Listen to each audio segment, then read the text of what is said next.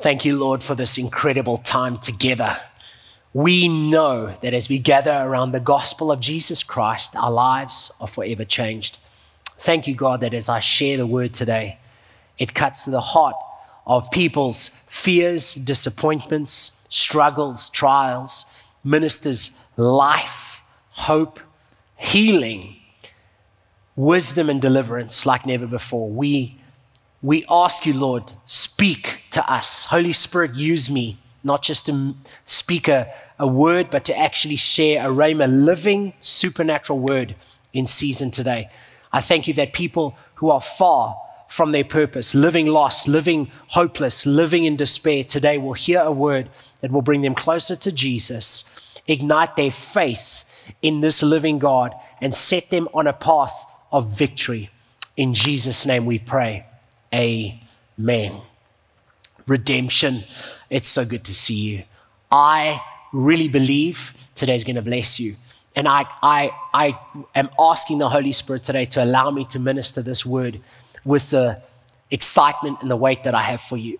Today, we are finishing up our Hope series, and um, it's interesting because I felt like we needed to touch on so many things. I felt like, you know, we could preach on hope for my city, and hope for my nation. We could speak on hope for my, my, my hurts. And there's so many things we can minister hope into. But actually, I feel what needs ministry to seal off our Pandemic of Hope series is to speak to faith. I'm not talking about faith in a doctrine. I'm talking about when you package your walk with God, I wanted to speak hope for my faith. Why? I really believe at the moment people are almost faithless. And I don't mean they don't have a religion, I mean they're living in such discouragement and despair that we right now are in such a living almost darkness, heaviness. And I don't, I don't even just talk about, you know, the world. I even think the church right now of Jesus Christ is under such attack and the attack isn't about enemies and weapons and, you know, what you think. The attack is to literally give up, to walk away, to say, I failed, to say, I can't do this.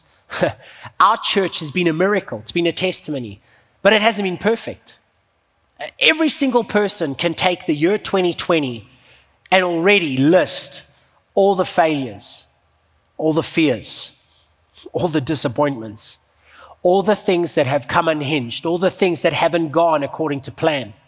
Even in my life, I find my flesh amidst the success, you could say, or amidst being content with how we as a church have literally 180 degree as a staff, as a team, gone in the middle of this lockdown and brought light in the darkness and brought sermons and gone into different languages and nations and territories. In the midst of that, even myself, I find myself ha- having really dark, despairing moments where I feel like giving up. I think the devil right now is trying to rob us of our faith.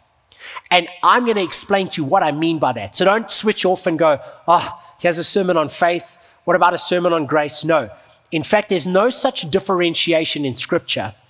When people responded to who Jesus is. And then once he died, what he had done for them, and then became believers in him. So even people who got healed by Jesus before he died, he even, he even recognizes their faith. I'm not talking about attending a temple, a building. I'm not talking about a tradition of religion. Uh, and there's nothing wrong with consistency. And in fact, this year, I, I, believe people who have been consistent in receiving the word, in being intentional with their walk with the Lord, they've been stronger than others.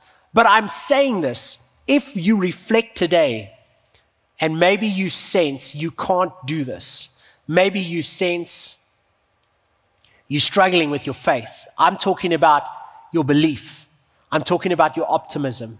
And I am talking about your foundation. I, I feel we have been shaken to the core around the world.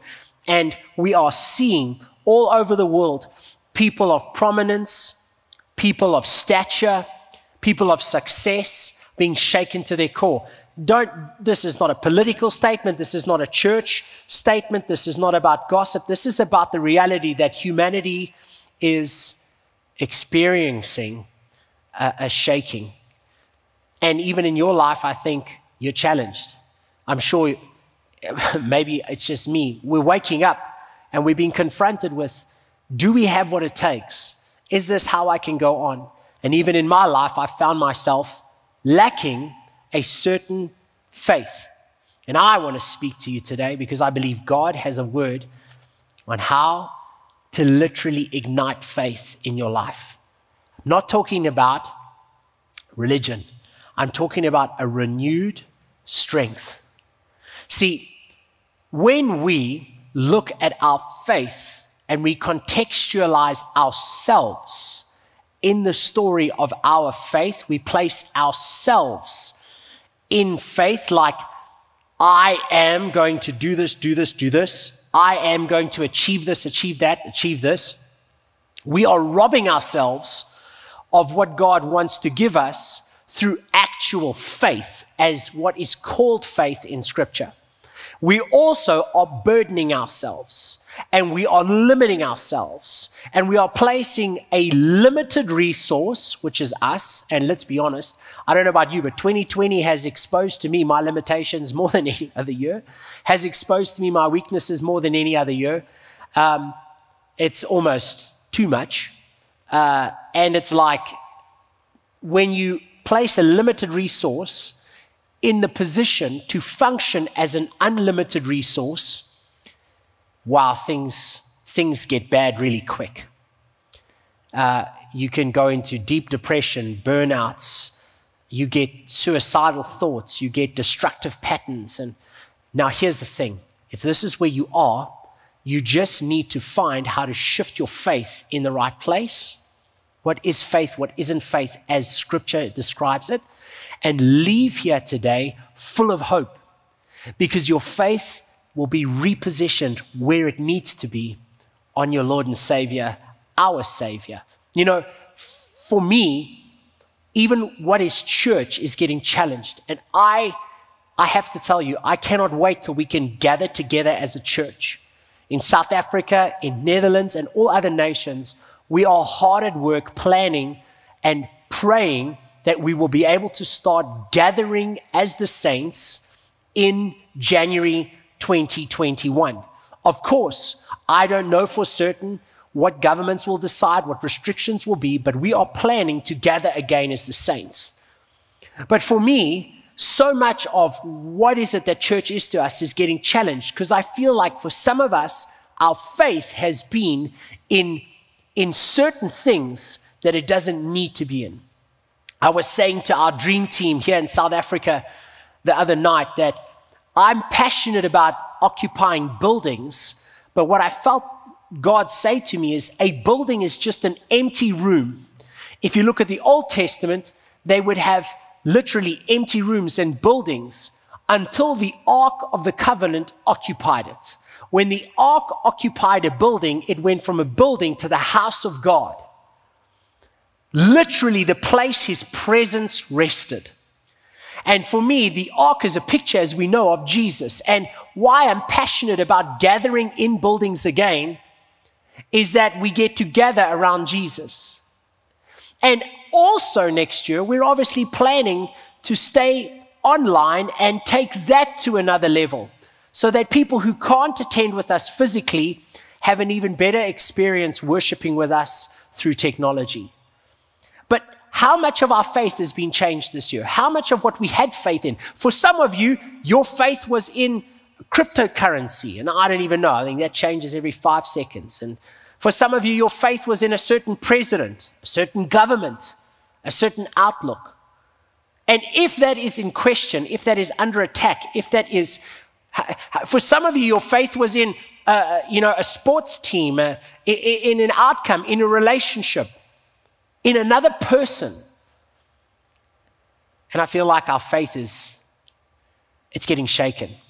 So the Bible doesn't call believing in Jesus as Messiah, as healer, as deliverer. The Bible doesn't call other faiths faith. In fact, the Bible calls faith in Jesus the faith. At the time Christ walks the earth, there are plenty of temples, plenty of gods humans are worshiping, ways in which they are believing they will earn God's favor. Nobody worships a God just to worship a God. The actual intention of a human being to pursue something spiritual is that it would have an effect on the natural. And so it's true. That's how God created us to see that the spiritual world has an impact on our natural world. But at the time Christ is walking the earth, there are many of faiths, you could say, many different religious activities taking place. But it was only recognized as faith in Scripture when it solely rested on Jesus. No matter how sick, hopeless, helpless. You know, for some people, the greatest miracle uh, in Christ's life was raising Lazarus from the dead. Um, I find it interesting that people overlook Zacchaeus a lot of the time.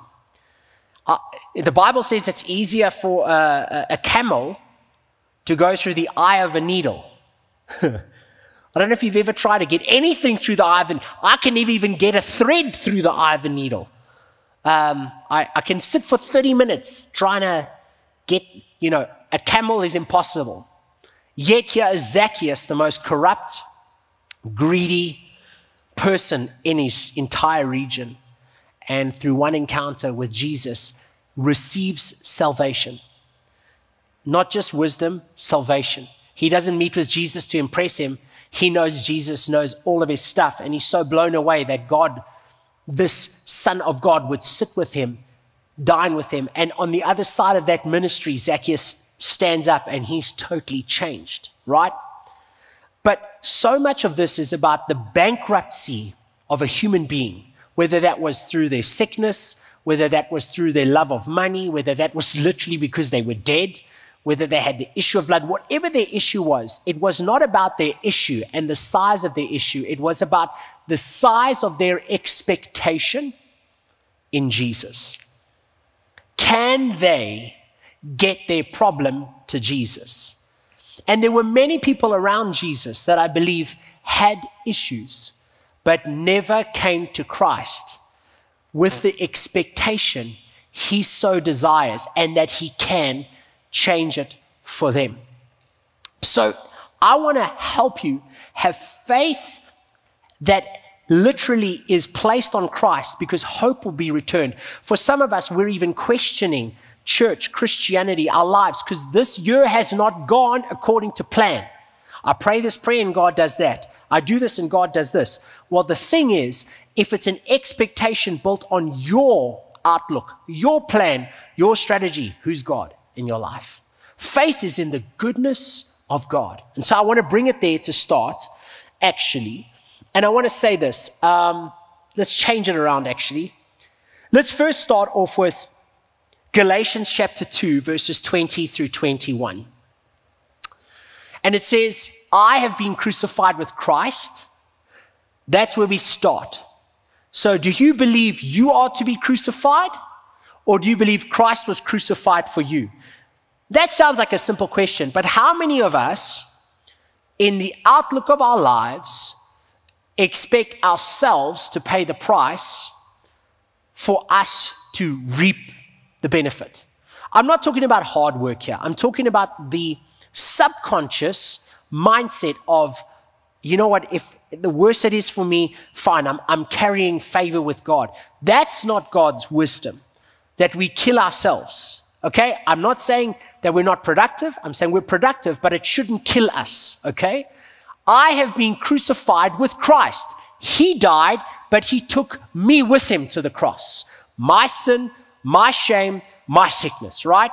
So therefore, now it is no longer I who live, but this is the spiritual truth. It doesn't necessarily mean it's the natural truth, and I'll show you how.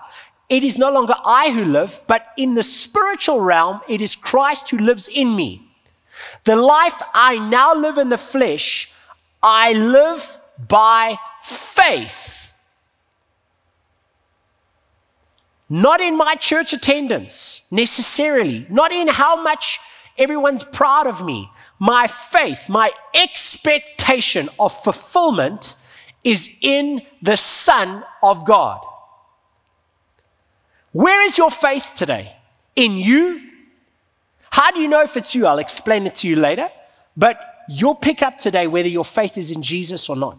But I want to tie this together because look at how cool this is. Faith in the Son of God comes attached with a revelation. This Son of God is not just God, He is God who loves me.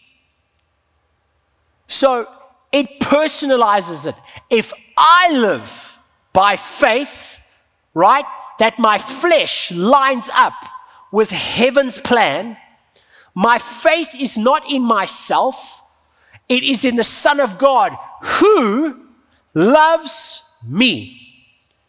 How many of us right now are so scared of what's going on in our life because we feel unloved? We feel like we are not good enough. we feel like we failed. And some of us, if not all of us, have had really rough years. This year has not been easy on our natural comfort zones. But do you understand God loves you? Scripture declares that a life of faith in Jesus is tied directly to the revelation He loves you. And out of that love for you, did something about your situation. He gave Himself for you. He offered Himself. His love for you was so great, He just can't leave you where you are. He literally offers Himself up as a sacrifice for you. Now look at the next statement. I do not set aside the grace of God. For if righteousness comes through the law, Christ died in vain. In other words, I can have all of what Jesus has done for me if I live a life of faith in Him because I know He loves me and he gave himself for me. But if I live a life of faith in anything or one else, right, I set aside the grace of God. I set aside God's grace. Right now, you might have some areas in your life that feel like they're not graced, that feel like they're unfruitful they feel like they are just stuck. They feel like you've failed. I want to ask you the question Do you feel like you've been carrying that? Or you've placed it on Jesus? In, in fact, maybe grace is in vain because your faith for that has not been in Christ who died because he loved you, right? It has been your faith has been in maybe a person or a thing or an outcome or a promotion or a possession. And really, what's happened is you've said, I'm only valuable if I do that, have that, become that. If I get love from that person, I'll feel loved. If I have that happen, I'll feel accepted. If I achieve this, then I know God loves me. But do you understand the context of faith is that the Son of God, right, loves you and died for you. You needed Him to die for you because in your natural ability, you are not capable of doing anything. In Hebrews chapter 4, verses 16 tells us to boldly come to the throne of God. And it describes to us that it is not a throne of just judgment, but a throne of grace, right? That we, who's we, the people approaching the throne of grace, obtain mercy and find grace to help in a time of need. Now, those two words, mercy and grace, are interesting because you can literally say mercy is rest, peace, wholeness. If you look at the actual words, it's, it's in those root words.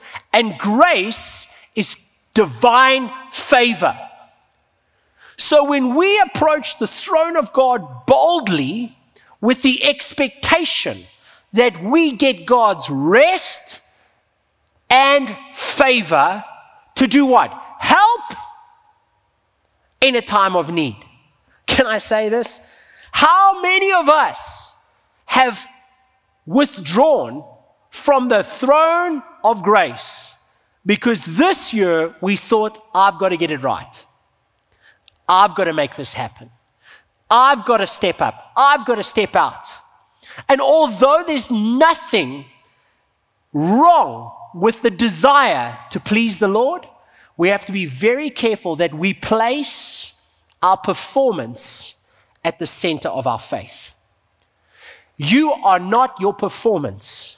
You are His performance. And the more you are focused on His performance, your performance gets stronger because you are not performing from your own strength with faith in yourself, your skills, your expertise. You are literally shifting gears and shifting the burden onto Jesus. Right? Look at this. The Bible tells us in Hebrews chapter 12, verses 1 to 2, right? Therefore, we also, since we're surrounded by so great a cloud of witnesses, and this is awesome, heaven is looking down, cheering us on. You know, so many people are saying to us, What's going on in the world? I think heaven is so excited to see what God's going to do in the middle of this, to see the church that will arise, to see the people who have faith in Jesus coming out on the other side of COVID. I have full expectation the church of Jesus Christ's, according to scripture, its best days are ahead. I, I, full expectation God's going to do something greater than we've seen. Here's what it tells us to do, okay? surrounded by a great crowd of witnesses, let us lay aside every weight and the sin which so easily ensnares us. Can I give you some of what this actually is saying? So, if you look at the Greek, it's fascinating. That word for weight is burden. Lay aside every burden, right? Shift the burden off of us. Now, let's come on now. I think 2020 is the heaviest year that's ever existed in my lifetime. The heaviest. There is everything to worry about. Uh, how you're running your health, your finances, your family, everything's got burden, burden, burden. Heavy, dark. It's literally felt. The Bible tells us that as heaven is looking around us, as heaven is looking down upon us, what do we do? We lay aside every weight. And the word there for the sin which so easily ensnares us, that's not like, oh, uh, the sin, like just the obvious sin, like, oh, okay, my, my flesh or my this or my that or an addiction. No, the word there for sin is everywhere we miss the mark. Everywhere we behave out of the flesh against who God's made us by the Spirit. So, this is the thing 2020 has just exposed in our lives where our flesh wants to go and the burden that comes with it. And what does it do? Those two things, the burden, right, and the fleshly brokenness, what does it do? It ensnares us. The Greek there is it, it's, it, it, it, it circles us, it gets us to be fenced in. Right now, when I talk to people all the time, do you know what they tell me? They tell me that they are overwhelmed that they have nowhere to go, that they feel claustrophobic, that they feel closed in, that they feel there's no way out. That is because they are carrying the weight and they are ensnared with the brokenness.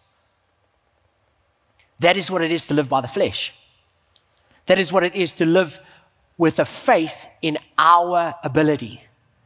It says to us, lay it aside. And what's so cool about this is there's scripture to tell us what that means. And when we lay it aside, there's an instruction for us. So, how do we lay it aside? Very easy. Matthew chapter 11, verses 28 through 30. And we have a whole sermon on this. Everybody in this church that has been here for a while will know about it. How to walk in supernatural rest, how to shift your yoke onto Jesus. But here's the thing Jesus came not just for one purpose, but for a wholeness, a full life. And he says, Come to me, all you who labor and are heavy laden, and I will give you rest. Now, people believe that this is like, I will give you a break, a vacation, time off. So, so give me your burden, I'll hold it. You go have three weeks vacation. When you come back, I'll put it back on you. No, it is a constant, conscious decision to take what the devil and the world places on you and shift it to Jesus. My performance to his performance.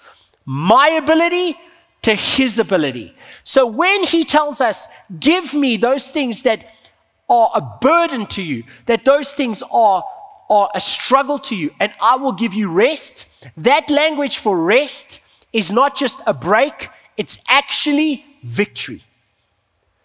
The promised land in the Old Testament was not called the land of Canaan, it was called the land of rest.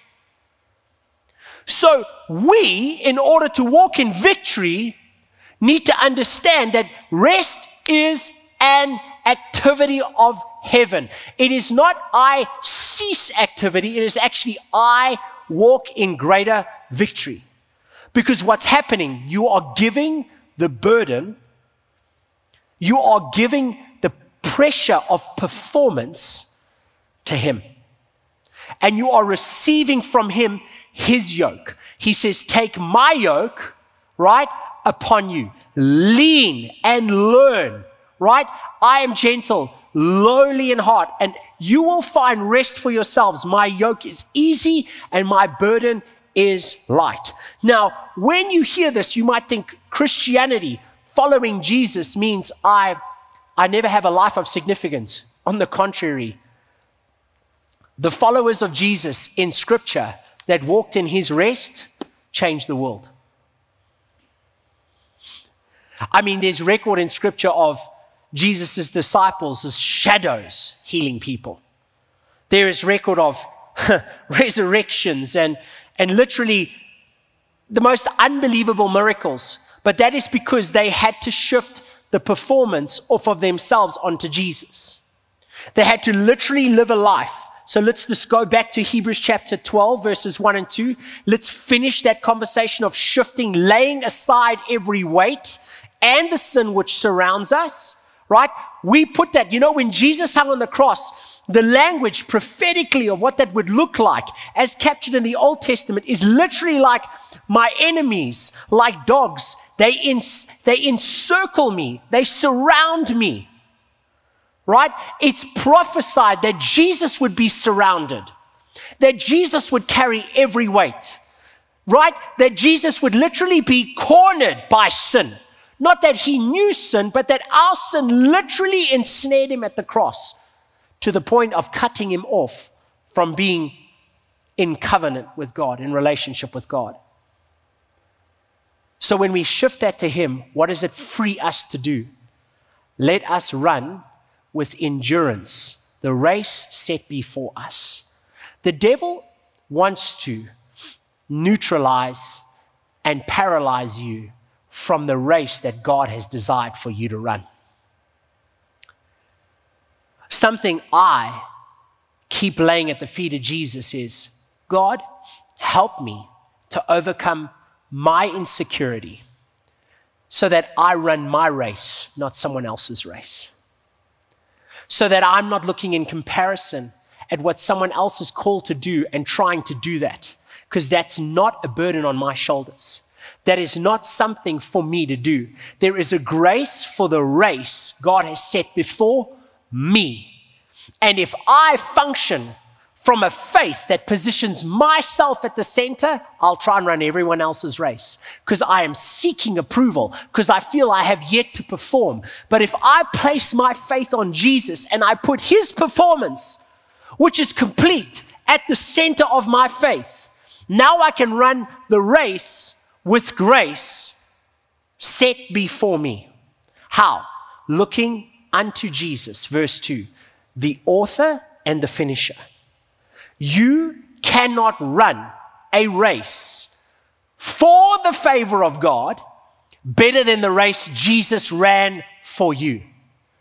In fact, he began it and he completed it. He lived a perfect life from birth unto death. In his story is your history. He, he literally already got you the ultimate standing with God. So we do not run this race for grace, for favor. We run this race from grace, from favor. And then you can run with endurance. And what's so amazing, it describes that when Jesus went to the cross, he did so with joy because he knew he would take what life wants to burden you with that you can't deal with, that you can't fix, that you can't change. What is that? Shame, sickness, all the stuff that this life wants to throw at you based on your performance. Jesus took joy knowing that it's set before him, not you. The devil comes and he sets that in front of you. And he says, You got to go to the cross. You got to overcome your shame. You got to deal with all your weakness. You got to fix yourself. No, no, no. God said it before Jesus and it gave him joy because then he could set in front of us what? That burden that is light and easy. That yoke that is a pleasure to run with. That is light, that we literally, yoked with God, can run this race full of expectation. How? Looking unto Jesus. It doesn't say looking to Jesus, it says looking unto Jesus. It's a small little phrase, but it's significant because it shifts it from I see Jesus to all I see is Jesus.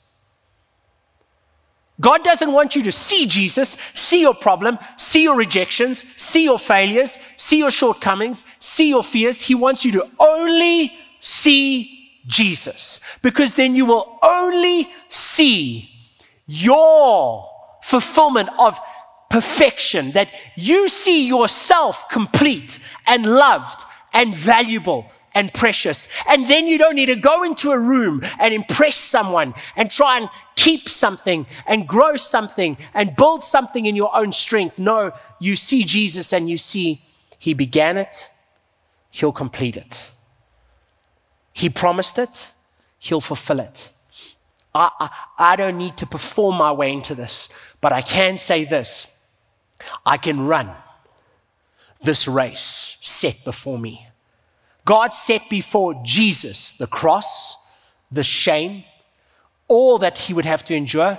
And in the same scripture, one back, he sets before you a race that he's graced you to run. Jesus says, I'm happy. I'm full of joy to see what's set before me because as I fulfill what is set before me, you can fulfill what is set before you. It's so important to just get this right. Our faith is in Jesus. You know what faith is? Taking from God. Simple. I don't have it, you do. I need it you have it in bucket loads.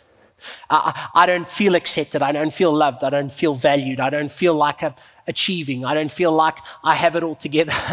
I, I don't feel like I can make it another day. But you know what? Then you come to that throne of grace so that you can obtain mercy and favor, mercy and grace. It's not just God loves you where you are. If we literally go back there, I want to show you this. It's not Hebrews 4:16. God doesn't leave you a victim. God doesn't leave you paralyzed in your circumstance. He doesn't leave you where you are like, how am I going to do this? No, once you obtain mercy and grace, it is a help. Literally there, the Greek is mercy is, is like a peace and a wholeness, and the grace there is favor.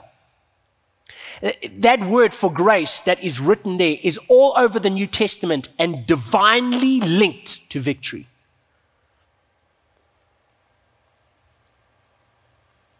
Put our faith in Jesus. It sounds so simple. It sounds so silly to be talking about it today, but you know what? How many of us right now, wherever there is a shaking in your life, it is because your eyes, you're looking unto something other than Him. It's not, I see Jesus and everything else. Looking unto Jesus is all I see is Jesus. So I, I don't know where you're at today. And I don't know what you're facing, but I want to lead you in a moment of prayer. I, I want us to be vulnerable, to come to that throne today. Because why? God has all you need in bucket loads. He, he so loves you that he died for you. And I'm not just talking to unbelievers, I want to say to believers. You might have been in church your whole life and you're living with disappointment right now. You might be living with discouragement right now. That's not the life God's called you to live. God has a race that He has graced you for. Place your faith back onto Him and only Him today. Shift your faith from people. Maybe I've disappointed you. Maybe our church leadership have disappointed you. Maybe your spouse has disappointed you. Your best friend has disappointed you. Maybe even the worst thing is you've disappointed yourself this year. Maybe you feel like you are just a failure and nowhere. That is not who Jesus made you by his life, his death, his resurrection. That is not where God wants you living. And I'm telling you today, that is an evil, demonic plan to get you to walk away from the race God has graced you to run. You are so needed. You are so valuable, and your life on this earth has a plan and a purpose. It is the devil who says, Give up. It is the devil who says, You failed. But God has never left you and He hasn't forsaken you. And wherever you're watching, in whatever context, I'm standing here today to testify to you it's not over. In fact, I believe as we place our faith on Jesus, our best days are ahead in Jesus' name. Your brightest days are ahead in Jesus' name. Father, I thank you for each and every single person watching right now. Lord Jesus, you love them so much. You care for them so much that you died for them. Father, right now, let them know your love. Let them sense your closeness. Nothing separates us from your love. No sin, no failure. In fact, you died to actually heal us from all of those things. Father, I pray today they hear the voice of heaven, they hear the words of the Holy Spirit speaking life, faith, hope, and a purpose into them. It's not over, it's just the beginning. In Jesus' name we pray. Amen. Amen. Right now, I want to invite each and every single person watching that doesn't know Jesus Christ as their Lord and Savior. We're going to lead you in the prayer of faith that changed everybody's life forever. What do I mean? The prayer that invites Christ to be our Lord and Savior. Jesus has already declared his love for you. God has already declared his love for you. Christ has already demonstrated the love of him, of literally God for you by dying on the cross and being raised again from the dead for your sin, for your brokenness. He can't wait to save you. But God is a God of love, and true love is when two people, two parties, they choose each other. God's already chosen you, died for you. And He cannot wait for you to allow Him to save you. He's waiting for you to choose Him. I'm not talking about a lifetime of religious commitments, I'm talking about a relationship with Jesus. He so desires to move with grace and love in your life. I prayed this prayer years back, and I wasn't perfect, and I'm still not perfect, but I experienced the love that was supernatural.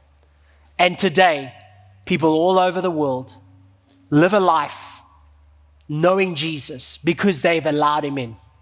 If you're watching today and you don't know Christ, you don't know Jesus, you, you tuned in, you invited, and you've hung around till this time, that's not by mistake.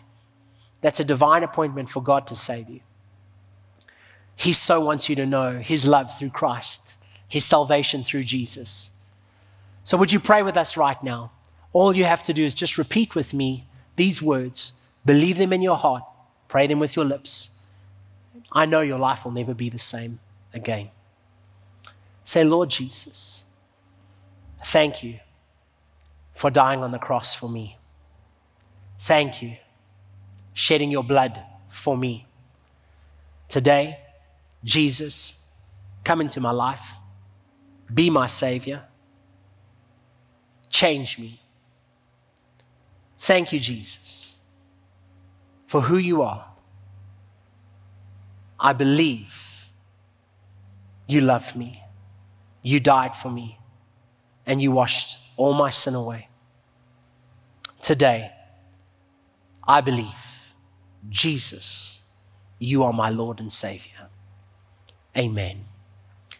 If you prayed that prayer for the first time ever, we want to celebrate with you. We want to send you a bunch of resource and tell you more about Jesus. Completely free. It's a gift from us to you. Would you just let us know that you prayed? We want to celebrate with you. We're so excited for what God's going to do in your life. On the screen right now is a whole bunch of information, maybe relevant to your nation, your country, your language. Would you just let us know by responding below? Or you can even comment if you're watching online on social media, say, I prayed that prayer. I'm praying that prayer for the first time. I believed in Jesus for the first time today. And our team will reach out and see how we can get you more information on how much Jesus loves you. What a precious, precious moment. Your life will never be the same.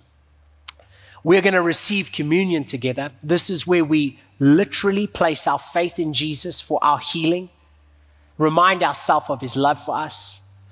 And so we do that with bread and with juice, whatever liquid you can get, whatever kind of bread, crackers you can get to be his body broken for us, his blood that was shed for us. We all do this as often as is necessary according to scripture. And right now, with sickness where it's at and depression and hopelessness and helplessness at its highest, even more so do we need to remind ourselves who we are because of what Jesus went through at the cross. So, if you can just take out your bread and we're going to declare what Christ has done for us today. Regardless of our circumstances, regardless of what's going on, our faith is placed on Jesus. So take this bread and as we break it, we speak over it. We say, This is the body of Jesus, broken for me. By every stripe, every whip, every lash on his body, I am healed.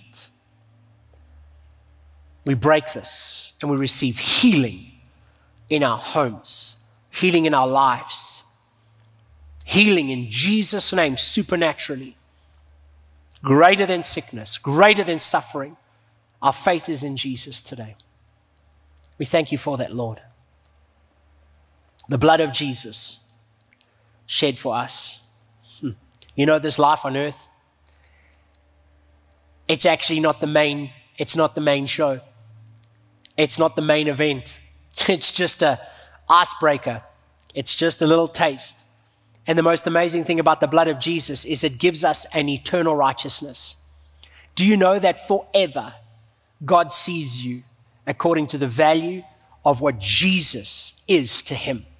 You are so loved, so cherished, and there is nothing you can do to mess that up.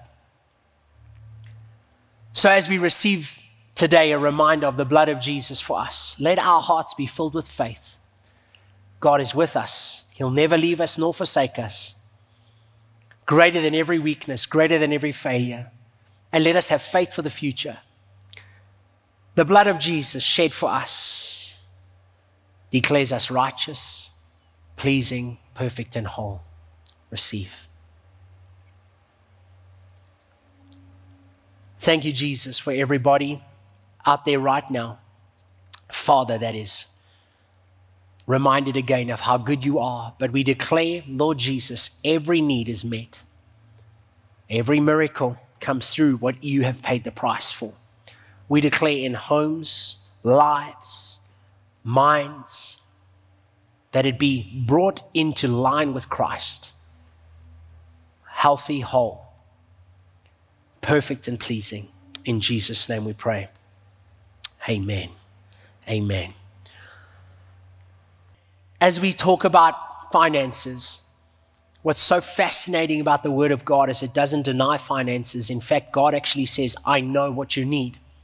And even He says, if you would trust me in this, if you would test me in this, would I not open the heaven? Would I not open literally the favor of God to flow? Right now, more than ever, I think we need favor in our finances. We need them to be graced. Do you know that in scripture, the word seed is called Zara? Don't come with all your shopping thoughts right now. Um, but it's interesting.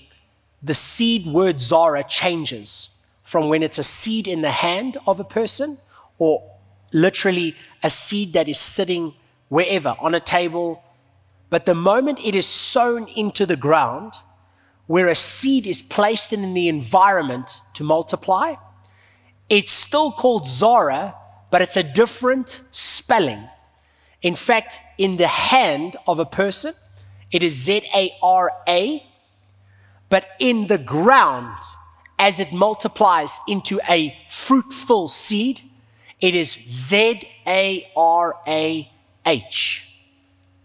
It gets graced. H is the letter that is grace in Hebrew, right? It is a hay. And a seed is graced to grow when it's sown. We want grace for multiplication. Father, I thank you that as we give of our tithes and offerings today, our faith is in Jesus, our provider, our CEO. We thank you, Jesus, that we give not out of fear, but in faith, not out of manipulation, but revelation. God is greater, God is better, God is bigger than our natural minds could ever conceive. We speak supernatural provision over every household and home as they place their faith in a supernatural God. In Jesus' name we pray. Amen. All the ways that you can give or up on the screen. However, you give, we're so grateful that you're a part of this incredible church. And I cannot wait to see you again. I can't wait to see, you know, in 2021 as we can gather again. But for now, let's shift our faith back onto Jesus. Keep growing in that, keep applying it. And I truly believe the best days are ahead in Jesus' name. We love you, Redemption Church. We'll see you again next week. Until then, be blessed.